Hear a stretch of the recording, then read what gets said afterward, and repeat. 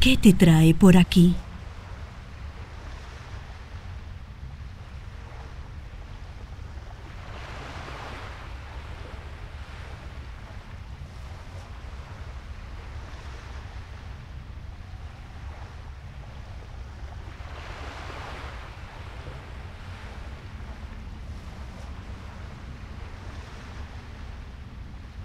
Con cuidado, colega.